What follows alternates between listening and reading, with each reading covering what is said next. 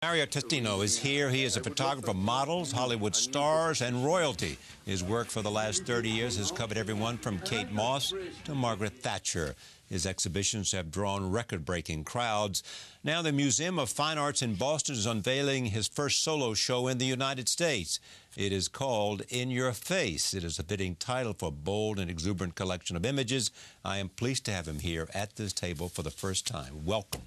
Thank you so much, Charles. So you born in Lima, Peru. Did you you were going to study international relations Well, and things like that? No, I actually didn't know what to study. So the first, um, the first university I went to was uni- uh, Economy University. Yeah.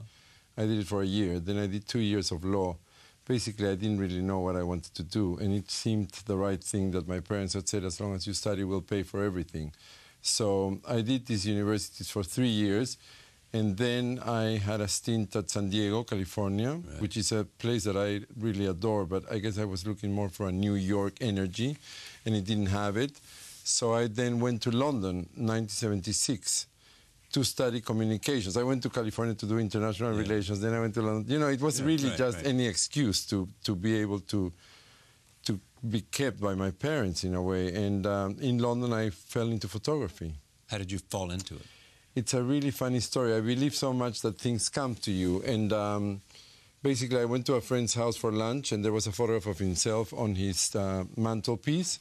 And I said, What a great photograph. And he told me, Oh, this Peruvian girl who's studying photography here took it. And I said, I've always heard of this girl. I'd love to meet her. So I went to meet her at her school. When I arrived to the school, she said to me, What are you doing? And I said, Well, I've applied to the university, and they've accepted me for next year but I need really to get a school if I want to stay because I need a student's visa. And she said, Oh, why don't you join the school? There's an Iranian girl just left that school. We're only six students, and if you can afford it, they'll probably accept you. So I applied, I got in. Uh, three months later, the teacher died. He, it was only him, the really the teacher. And like two days later, I met this guy who to, who asked me my story again. I, when I said that I've been at this school, he said, "Oh, I know the Iranian girl that left your school. She's just opened a studio. Would you like to meet her?" So I went to meet her. She offered me a job as an assistant. You know, the situation in Peru was really tough at the time. My parents said, You have to come back. There's no more money. We had like 2,000% inflation with a parallel devaluation. Right. And I decided I want to stay. So I worked as a waiter in a restaurant for another three or four months. And after that, I realized, well, I'm a really bad waiter because I could only pick up one plate and look where it was clean Yes. and leave every other plate. And the people at the table were like, You're supposed to carry more than one plate. So I decided, I guess I better be a photographer. And, you know, it, it wasn't overnight. It was certainly a struggle to get work. I had to go and show my book in the rain in London and be, um, you know, people would say to me, really, you will never make it, or you just have no talent, or people were quite blunt. Right. But here I am. Uh, what was the big break? There were different breaks. I guess my first big break was that somebody, right when I started, there was a, an editor in a magazine called Over 21, what doesn't exist anymore, the magazine. And the lady, in case, turned to be a social worker, but she gave me my first break. She thought that I could really produce a cover and a story from beginning to end. And for somebody my age at the time, it was a big break. I mean, it wasn't a big break in the sense that she didn't make me, and maybe my big break came later when Madonna asked Versace to allow me Right. to photograph her for the couture. And, you know, uh, when the pictures came out, Versace said, Gianni Versace, who at the time was still alive, said, My God, you really understood these clothes. And, and when he presented the campaign, he wrote, Versace presents Madonna by Testino. And at the time, you weren't called by your surname if you weren't Avedon, Penn, or Newton. And, you know, then things started rolling. Then uh, Princess Diana asked me to photograph her dresses. That was my second big break. Then I got, um, you know, for the sale of the promotion of the sale of her clothes at Christie's. Then Tom Ford asked me to do his campaign for Gucci when he was there for 10 years. I worked with him. And maybe that was what really put me in the, Yeah. in the world of fashion as a, a photographer. There have been, been times in this really illustrious career in which you worried that maybe it was not going to work the way you thought it was when You know, a magazine might have stopped calling or something like I that? I think that there is that fear all the time. You know, I, I don't really know. I'm a, fr- a freelance, so even though last year I turned 30 in my profession, I think that there is no assurance. Yesterday I was saying if you win a gold medal at the Olympics, doesn't mean you're going to win it next year. Yeah. And you know, it's the same with us. I think we're only as good as our last job, and as much as people can tell you, "Oh, you've really made it," in my head, I don't think you ever really make anything because. I mean, it's like you. You have an amazing reputation, but who knows whether next year, you That's know. right. That's right. We Don't- hope don't- not, Don't remind me. No, no, no. That's true. But it's the You know, truth. I mean, it, it, it, eh, but also you want to push yourself to be better out of the sheer intrinsic value and the psychic income, as well as the competitive reasons, to be as good as you can. And, to be better than you were yesterday and not as good as you are tomorrow. And I find that quite difficult when you really know what's good because Yeah. you can't cease to compare yourself. I mean, I've been collecting fine art for the last 18 years and I see the freedom that some artists have in their work. And I don't always have that freedom. So I obviously would like to have that absolute freedom. And, you know, when you know something's good, you know that not everything you do is that good. So it's a constant search. And I don't think that you ever get to be I don't know. I think the moment you stop thinking that you'll be better, it's the beginning of the end. I no? agree. You, uh, you did a famous exhibition in London. Uh, it was the Natural Portrait Gallery. Yeah, the National Portrait Gallery in 2002. Second most successful, only second to Lucian Freud. Well, it was first. It was last first? year. More well, than he, Lucian Freud. he just no, no, no. He's just uh, Oh, right, happened. right, right. And rightly so because it was an amazing show he did. I was pretty lucky for a photography exhibition. Yeah. What was it? I mean, were you surprised? What do you think Um, made it what it was? You know, it's a mixture of things. I think that, um, like most things in my life, I was lucky with the timing. Yeah. I think that the content of the show was uh, a lot to do with celebrities, and everybody knew every single person that was in this show. It went from Kate Moss to Princess Diana to Madonna to Gwyneth Paltrow to you know, and and that really was one of the reasons. The other reason is that the director at the National Portrait Gallery at the time, Charles Saumarez Smith, who today is at the Royal Academy, was very kind to give me the freedom to do the exhibition how I wanted to do it. And like I said before, I collect fine art, and I have a way of hanging in my house that is very salon style, but in bright colors. Um, you know, I come from Peru, so Right. even though I think that the English have a real sense for color too in their interiors. And he agreed because at first, when I was approached to the show, I was told that probably they wanted me to do a show with small photographs around the room in a in a line in a white room, and I said, well, you know, that doesn't make any sense with my work because I work for magazines, and when you look at a magazine, your eye is concentrated on the space. And when you put it on the wall, you almost need that same concentration for the image to have the same impact. But you once said to, I feel like a doctor. We've got some interesting quotes here from you. I feel like a doctor who goes to the operating theater with 30 years of experience. Now I feel that I can use all the instruments of the past to get the most interesting photographs. What are the instruments that you use to get the best photograph? Well, you know, light is the main one because photography means writing with light. So I would say that that's Photography the main one. means writing with light. Light, yeah, that's probably the um, the first instrument that I use.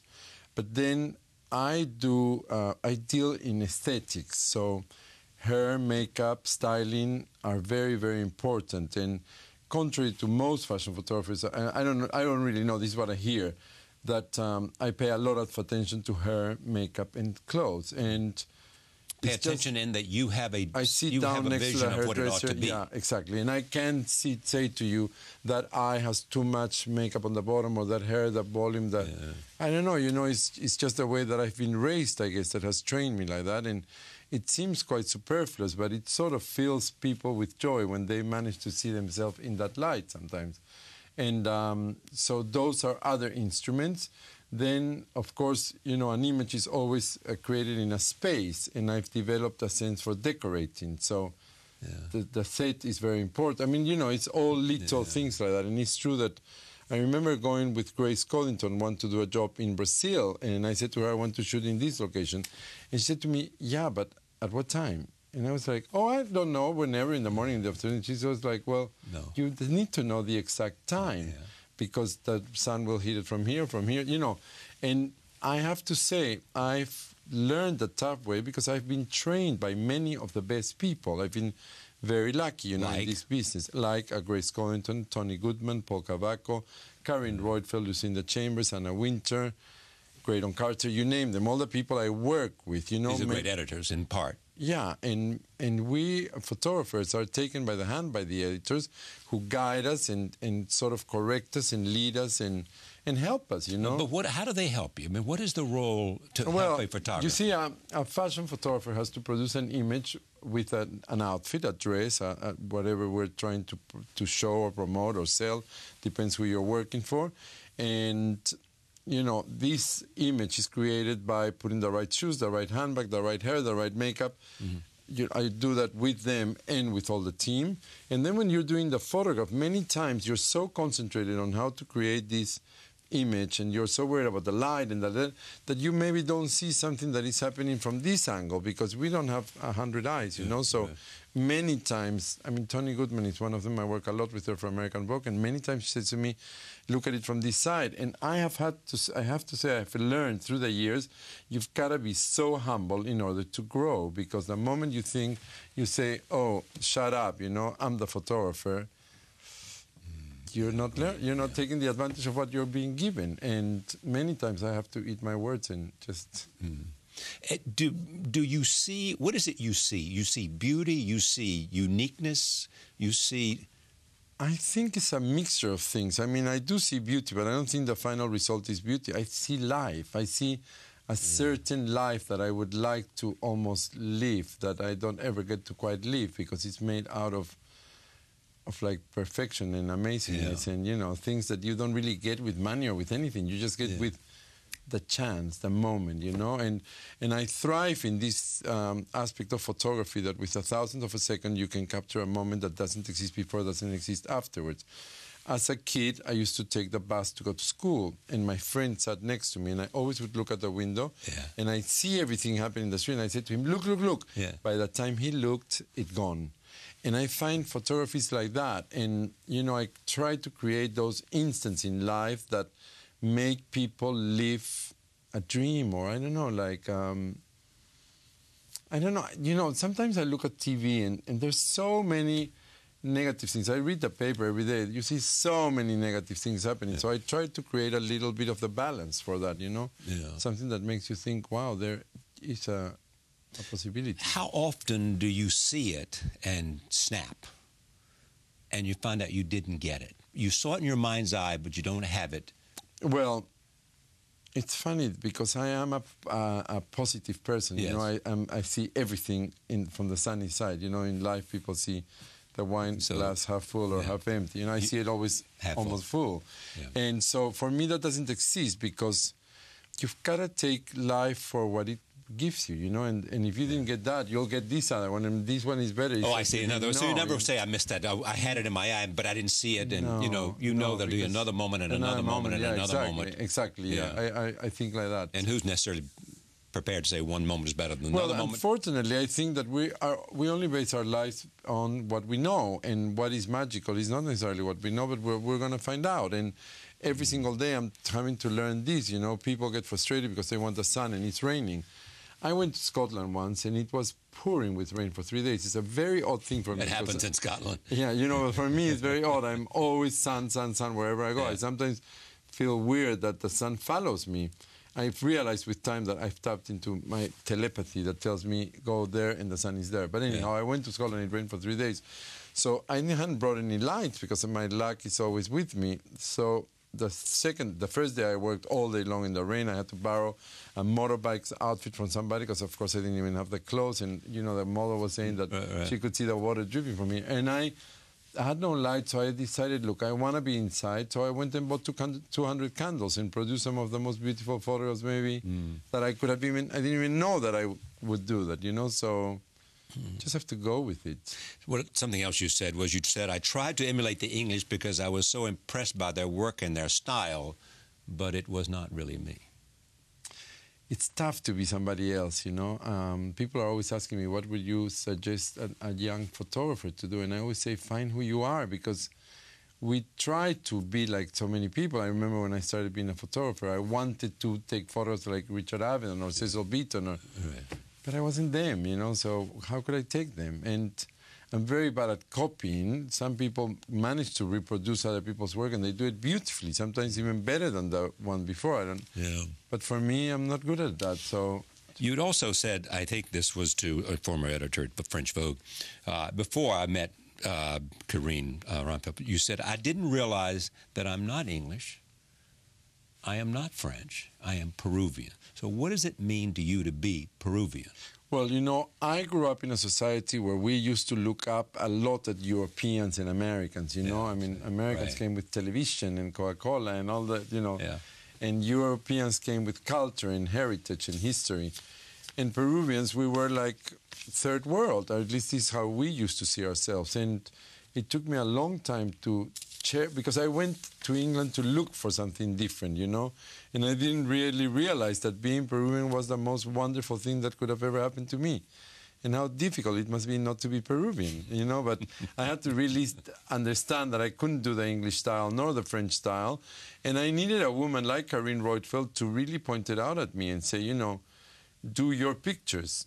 Don't try and do anybody else's pictures. The problem was that I didn't think my pictures were that great. and um, like this, I've heard so many advice from different people that have said to me, you know, look at um, what, look at your life. You know, I used to do really boring pictures, I guess, in a way, or not boring, but static. And somebody said to me, you know, you're always um, having a good time at a party. Why is it that you don't project that in your pictures? And all of a sudden, I brought life to my pictures. But the truth is that What did you do different to bring life to your pictures? Well, I had to scream, shout, perform. Oh, I see. Yeah, know. right, right, right. But the interesting thing is that in, in our lives, comedy is not considered as good as drama. And I've noticed this in films. in photography, it's the same. If you have a laughing picture of a girl, it's not considered as cool than if you have a girl about to. Sex, sexy and evocative. Exactly. Well, that I, it's very mean. But in general, if the girl isn't like a bit down or gloomy, it's not considered that cool. I asked you who was the most beautiful woman you'd ever photographed. and you Well- said to me, Well, Kate Moss is the girl that has touched my, you know, my senses the most. I think she's that's a be- better way to express it. She's touched your senses most. because it's not only one sense. It's not just the eyes, you know, and the beauty. It's the the humanity, the the fun, the style. The I don't know. She just opens. When you are with her, and, and another one that is similar to Kate is Gisele Bündchen. When you're with Yeah. these girls, you just feel that life is more exciting. There's more to see. You're more fortunate. You're I don't know. What she said about you, because uh, she said that women want to be photographed by you, whether it's Gisele or Kate or whoever it might be, because we want to look like that all the time. You give them a look that they want to be, you even discover something about them that they may not even know. I think what I do is I tap into them, you know, because I'm always looking. Maybe it's something that happens in a small part of their lives or in the day, and I look at that, and that's what I try to bring out.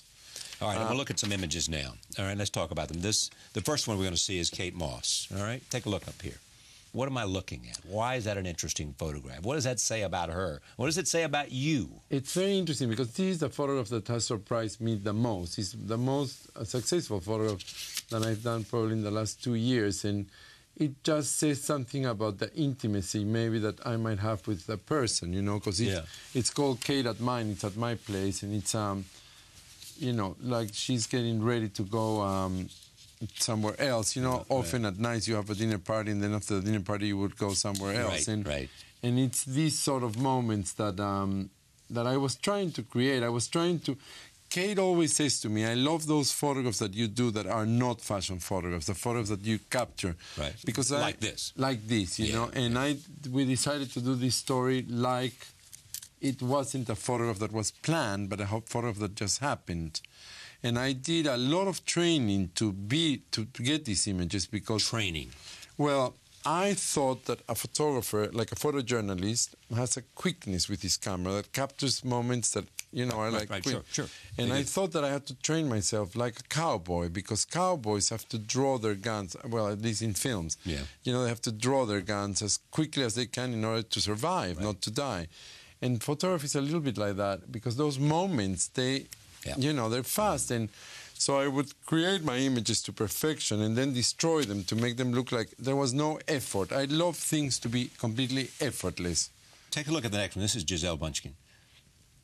There you are. I mean, the picture is cropped perfectly because you so, see all the way down her leg to the shoes. Well, it's funny And it's because stretched across, so there's a sense of, this is an image done for a cover of a magazine for Vanity Fair for the style issue. yeah. Uh, I'm really bad with dates, but it's two or three years ago. 2007. Oh my God. Five years Five years ago. How scary.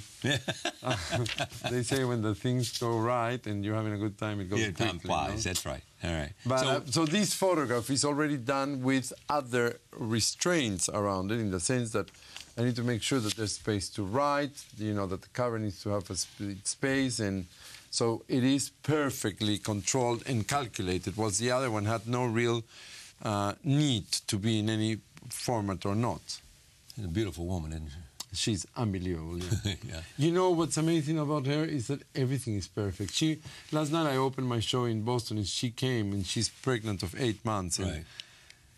I mean, even pregnant of eight months, you would think that maybe she's not as incredible, and she's more incredible. All right, take a look at the next one. Gwyneth Paltrow. This is 2005. She has left the floor. Well, this is um, a story that we did for the Couture for American Vogue with Tonne Yeah. Goodman was my editor, and um, I always see models because they have quite a tough life. These girls are constantly having to go from one city to another. They're young and they're on their own, and often they bring their brothers, their sisters, their best friends, their, you know, somebody from the family.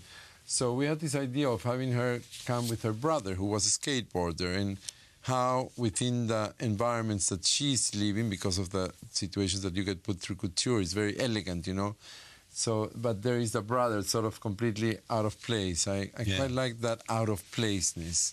Uh, the next one is Stella Tennant. This, This was is- done for American, but for Grace Co- Yeah. with Grace Coddington for Yeah. the. Um, I mean, if I get it right, I think it was the Liaison Dangereuse. You like black and white or color? I like color. You do. Yeah. I mean, I think life is in color. It's very funny. My mom, But look at your clothes. exactly, because I do it on my pictures, but you should see me how I was before I started doing this. I had a lilac terry cloth suit with mm. platform shoes. but, you know, I was pretty loud. Lilac. Yes. Right. I love lilac. uh, the next is Hilary Rhoda, Jessica Stam, uh, Nia. This I did for French Vogue with Carine Roitfeld. I mean, Carine has this eccentric side to her. She loves something that is sort of off. And it, these are very, that you were asking me about editors, Editors, what exactly. they do, you know, and what I've noticed is that they all bring different sides of me. You know, I work with the Americans, the English, the French, and they all have different points of view. They like different women, and their societies are really different. You know, a woman in France wants to be really elegant. A woman in England doesn't want to be You know, elegant. she we, wants just, to be completely... we just had Anouk Aimée here. She's amazing. No, I saw her once at, at the theater in Paris, and the theater was uh, they turned off the lights, and the only person that you could see was her in the auditorium because the skin It was, is it so was white. unbelievable. She came and did a segment with me, and it was she was so alive. Uh, yeah, you alive, know, exactly. Alive. I mean, people just were. I mean, knocked out. People would stop me on the street and say, how incredible she was. "Yeah, how incredible she And was." I mean, I don't know how it how is old she European. Part is of it is now. European. Yeah. She's over eighty. Over 80, amazing, no? Yeah. I mean, it's quite. I met her 30 years ago. Well, I didn't meet her, but I, I saw her at, a, an, at an event and I was blown away by her. I knew her from films because Yeah. we trained with French and Italian Yeah. films. Uh, the next is a picture of the Duke and Duchess of Cambridge. There they are, the It's a beautiful Kate Middleton. photograph because I was just looking through my computer for the pictures that we had done for the engagement. They were standing next door, next to me, just to. I was showing them, and then all of a sudden I just turned around and they are such an, an right. amazing couple. Take a look at. And then here's an interesting photograph. This is Keith and Mick uh, taken. How did you get that photograph? What did you say to them? God, it's interesting. I guess I know them socially. You know, I know their kids and, Right. and, and their wives, and you know. So I, I don't know. I was in LA. We were in a hotel. I put a, a seamless in a hotel, and I just said, I want to get that energy each other. that you guys have. You said what? I wanna I want to get that energy that you guys have in between Yeah. you because all the years you've been together, you know, and they're Where do you put this in the pantheon of favorite photographs? they're amazing. It's an amazing picture for me. Yeah. yeah. It's those. It's a rare picture. Um, you know what's funny is that I go through my life adapting to the moments. You know. Yeah. This moment they had they could give me I think two hours. I flew to LA just to do this photo for two hours, Yeah. and they wouldn't go out of the hotel, so I had to put a seamless. And I was sort of younger than now and a little bit uh, you know insecure and. And so you try, you do the best you can that moment, Right. but maybe I'd never use this light again, you know, maybe something I used then because I thought it suited that, that situation. And this happens a lot. What do the best models have? Personality. Really? Yeah.